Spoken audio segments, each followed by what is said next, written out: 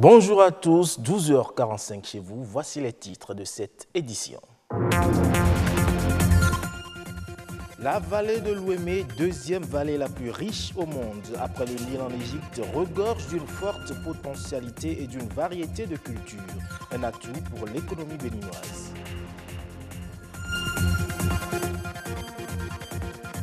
Quel rôle jouent les associations de consommateurs avant et après une intoxication alimentaire? La réponse dans un instant.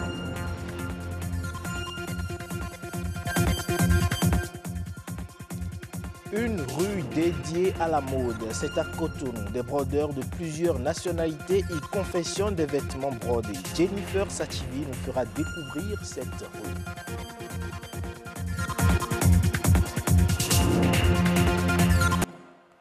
Démarrons ce journal par une nouvelle brève. L'Union nationale des magistrats du Bénin, l'UNAMAB, a annoncé hier la fin du mouvement de débrayage lancé depuis le lundi 4 janvier dernier. La décision a été prise au terme d'une assemblée générale au cours de laquelle les magistrats ont décidé de lever leur motion de grève pour compter du vendredi 2 février 2018 à minuit.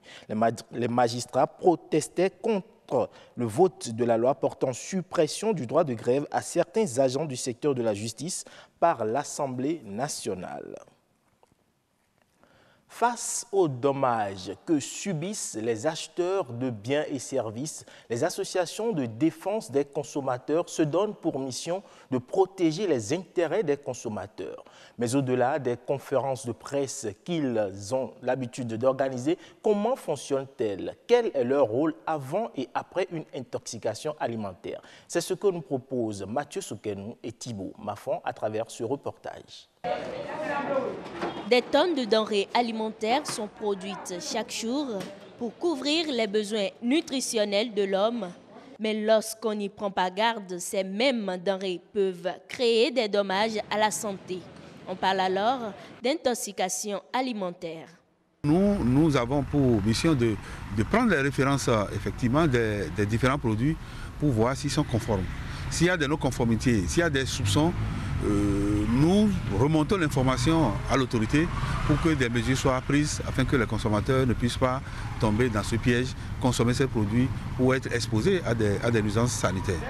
Malgré toutes ces précautions, des cas d'intoxication alimentaire peuvent subvenir. Les actions que mènent les associations sont alors d'une toute autre nature. Il y a deux voies qui s'offrent à nous. Nous pouvons prendre par la voie administrative ou bien la voie judiciaire.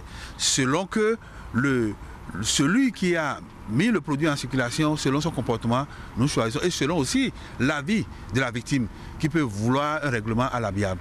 Mais nous avons pour mission de les accompagner, effectivement, à être dédommagés, chaque fois que la situation se présente.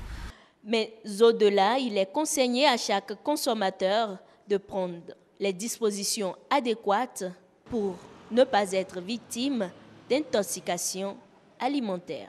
Il faut que nous puissions avoir le réflexe de signaler automatiquement après la consommation de produits où le goût ou la couleur a changé. Il faut qu'on remonte l'information pour qu'on puisse revoir au niveau du fournisseur s'il n'y a pas un défaut de fabrication qui serait préjudiciable à la consommation.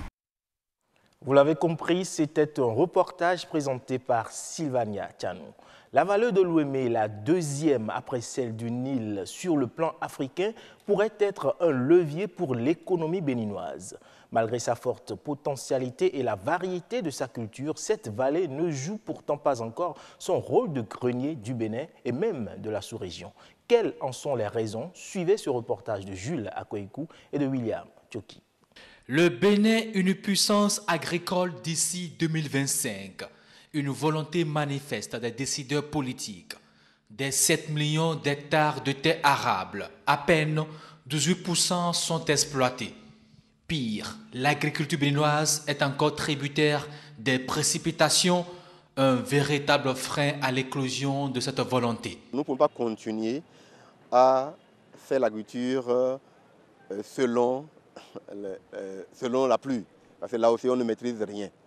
Vous voyez aujourd'hui, quand on parle euh, de la culture, euh, euh, des cultures maraîchères au Burkina Faso, le Burkina Faso vraiment a un certain nombre d'avantages par rapport à nous. Donc c'est parce qu'il y avait des, des aménagements au Burkina Faso. De grands aménagements effectués déjà par l'État en temps révolutionnaire de, Sankara, mais pas la suite. Même le Milan Chalon a fait de grands aménagements qui font école aujourd'hui au Burkina Faso, donc nous devons aller vers ça. Et nous sommes heureux et contents de remarquer quand que dans notre pays, au niveau de la vallée de Malanville, le chef de l'État s'est abondamment investi dans ce sens. il faudrait voir si ça prend et dans quelles conditions on peut valoriser, bien sûr avec la coopération chinoise, valoriser ces installations et puis d'autres bailleurs de fonds qui sont intervenus par la suite, la, BAD intervenu, la, la BOA doit intervenir pour accompagner ce processus. Si dans la vallée du Niger, les résultats de l'exploitation de cette terre riche sont concluants, dans la basse vallée de l'Ouémé, la deuxième vallée la plus riche après celle du Nil, les choses battent toujours de l'aile. La question de propriété limite les interventions euh, à ce niveau-là. Mais au-delà de tout, il ne faudrait pas faire de grandes euh, installations dans notre pays, parce que notre pays est étroit, hein, faire de petits aménagements à la dimension humaine, capables d'être euh, reproduits et d'être gérés par les localités qui les utilisent. Donc, euh, à ce niveau, c'est fondamental. Vous voyez, au début du temps du règne du président Yaboni, il y a ce qu'on appelle les aménagements sommaires. Ça veut dire que pendant la saison des pluies, sur un hectare, c'est peut-être 200 000 francs ou 400 000 francs d'aménagement sommaire qui permet de, de conserver l'eau pour les plantes. C'est des aménagements qui sont très importants. On n'a pas besoin de faire de grands aménagements, mais des aménagements sommaires, le temps d'une campagne, euh, qui ne coûtent pas tellement cher, mais qui ont donné leurs résultats. Donc ces types d'aménagements, il faut les repenser, les étendre et les améliorer à côté des aménagements qu'on pourrait effectuer sur l'Opara, sur le fleuve Ouémé, à Malanville. Vous voyez, l'Opara, par exemple, là, nous avons des problèmes de crues, débordements, tout ça, mais c'est des choses qu'on peut canaliser pour permettre aux producteurs euh, de, pouvoir accéder à la chose. Mais il y a quand même des inconvénients. Lorsqu'on fait de grands aménagements, il y a des déplacements de coûts, déplacements de population et puis des, des, inondations qui peuvent arriver. Il faut faire des aménagements qui puissent éviter, hein, qui permettent de protéger la nature, de protéger les populations qui vivent dans les environnements c'est la question de propriété qui a empêché les différents projets de se réaliser. Il y a, des problèmes de propriété, c'est d'abord ça qu'il faut régler.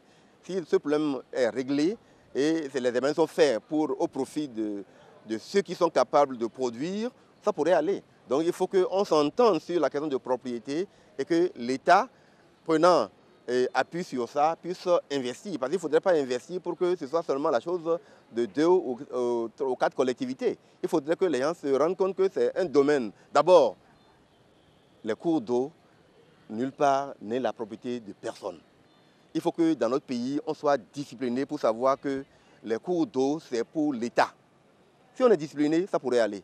Donc la question de propriété dont on parle, c'est parce que notre État n'est pas fort au, moins à ce niveau-là, l'État doit être fort. Les vallées, les cours d'eau, c'est pour l'État. Régler le problème de la sécurité des terres, construire des retenues d'eau pour réduire la dépendance et la vallée de l'Ouémé pourra jouer son rôle de grenier du Bénin et même de la sous-région ouest africaine. Connaissez-vous la rue des Brodeurs? Eh bien, c'est la destination favorite de bon nombre de personnes en quête de vêtements brodés. Plusieurs nationalités s'y trouvent et y exercent depuis plusieurs années. Allons à la découverte de cette rue des Brodeurs avec Anthony Alaka et Jennifer Sativi. Skoagbeto, un des quartiers de Cotonou. Impossible ici de parcourir une ruelle sans être en présence de boutiques ou d'ateliers de broderie. Il s'agit de la principale activité du lieu, ce qui lui a d'ailleurs valu le surnom de la rue des Brodeurs. Sa genèse remonte aux années 80. Commerce. Bon, atelier ici, là, c'était euh, Vieux Diouf, il est sénégalais. Avec M. Cham, c'est un sénégalais. Bon, moi, je suis venu compléter avec, je suis malien. Et on a resté ensemble avec Kalou Demba. Il était dans le bon hôtel Bako. Bon, bon, les gens, on est en train de livrer les apprentis là, et aussi ils vont ouvrir l'atelier. Après là, ça grandit, ça grandit comme ça, ça devient riz de commerce. Euh, des brodeurs. Quand on parle de la route des brodeurs, on parle d'un quartier où il y a tout type de couturiers. Des brodeurs, des fournisseurs et puis des tailleurs simples. Une estimation, bon, on peut dire ça varie de 100 à 120 comme ça. On ne peut même pas compter parce que c'est trop. Il y en a d'autres même qui sont cachés à l'intérieur des maisons.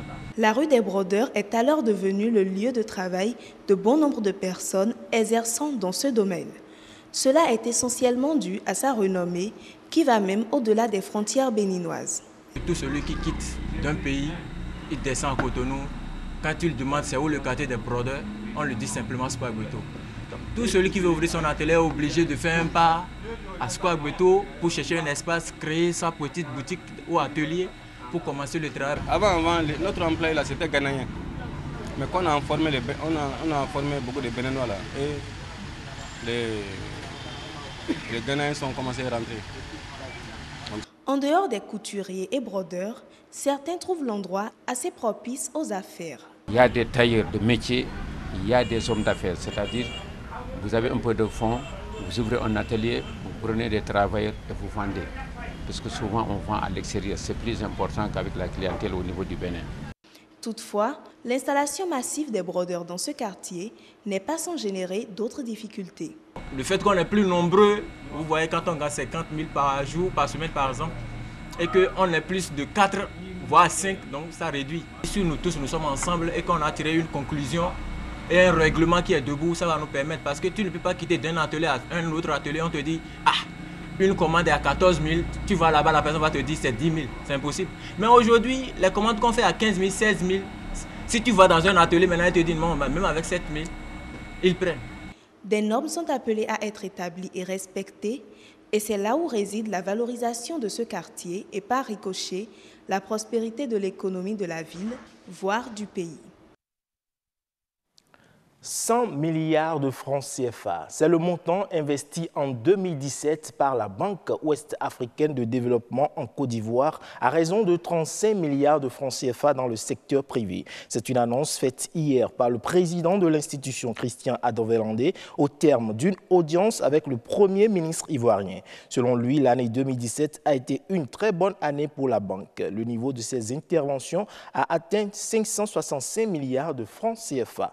Pour Christian La BOAD a mis des lignes de crédit à la disposition des banques locales pour le financement des petites et moyennes entreprises avec des financements directs en ce qui concerne les infrastructures et la sécurité alimentaire. Faible part du budget alloué à la santé au Cameroun. Selon les données publiées hier par le ministère de la Santé publique, la part du budget de l'État oscille entre 5,5 et 7% depuis 2011 au Cameroun, alors que la déclaration d'Abuja préconise 15% S'agissant du, niveau de couverture en santé de la population, et selon les chiffres officiels, seulement 6,46% de la population camerounaise est couverte par un mécanisme de protection la majorité ne faisant partie d'aucun dispositif de protection du risque financier et continuant de supporter les dépenses directes de santé à travers le paiement du personnel des soins. Ce sera tout pour les informations de la mi-journée. À bientôt.